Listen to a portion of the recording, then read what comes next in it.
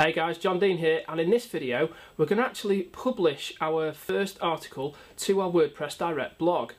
Uh, we're going to delve back into the publish content module of Market Samurai, show you how to connect it to your WordPress Direct blog and publish the draft article we've saved from a previous session. So let's head on inside Market Samurai and let's get to work. So here we are inside Market Samurai and in order to publish your um, article to your blog it's quite a straightforward process. Uh, you first of all need to come to the publish content module by clicking on publish content on the left hand side and then uh, what we're going to do is click on this view local drafts link. Now here you'll see I've got one uh, article that I've created already which is called on the move and if we come over to the right hand side you'll see there's a pencil icon and that's the edit icon. If you click on that it will take you into the article. And as you can see here's an article I've already written with uh, an image on the right hand side and some tags at the bottom.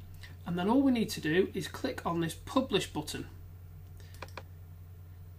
When you first click on publish you'll be asked to set up your WordPress direct account um, before because obviously Market Samurai needs to access your WordPress direct account in order to pu publish to your blog. So the first thing you need to do is drop down this box here and you've got an option of creating a new WordPress blog account or a new WordPress direct account. You want to choose the second option which is new WordPress direct account. The first option, the new WordPress blog, is for self-hosted blogs that you've got on your own servers WordPress Direct is the service that we're actually using as part of the challenge. Um, so hopefully you've set up your WordPress Direct account and we need to click on this in order to access that account.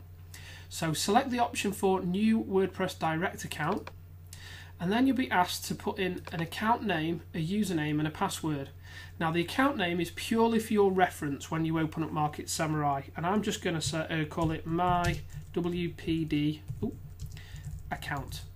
The username and password are the username and password you use to log into your WordPress Direct account, which you chose at sign up.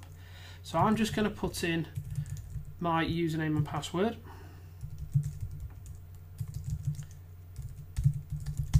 And then once I've done that, I'm going to click on the Add Account button. Okay, once you've connected to your WordPress Direct account, um, you need to choose from this drop down menu here the blog that you want to post to if you have more than one. So from that drop down box, choose the site you want to publish to. And then the next section is when you want to publish your article, your blog post. You can either choose to publish it immediately, you can choose to publish it on a certain date, you can choose to publish it X number of days after the last scheduled post, or you can choose to publish it as draft, which will save it um, as a draft version. I'm going to choose to publish it immediately by leaving this radio uh, button checked. And then we can choose which category uh, to post it into. I'm just going to choose a category there. And as I've got an image in my post, we've actually got this option here saying where should images be placed. Now I'm going to choose upload images to the selected account because I want the image to be on the same server that my blog's on because it'll load nice and quickly. Um, and then we've got an option here which says after publishing track with rank tracker.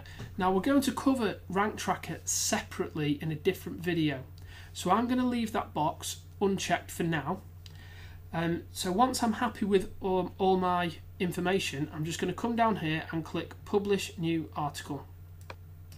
Market Samurai will then upload the images and it will make the post on the blog. Um, and after a few seconds, you'll see it says post published. Click here to view it. So all you need to do is click on this on this link, and it will open it um, in a browser, and you'll see that the article has been published there with the text and the image um, and everything's in there that was in the original. So that's how easy it is to publish using the publish content module.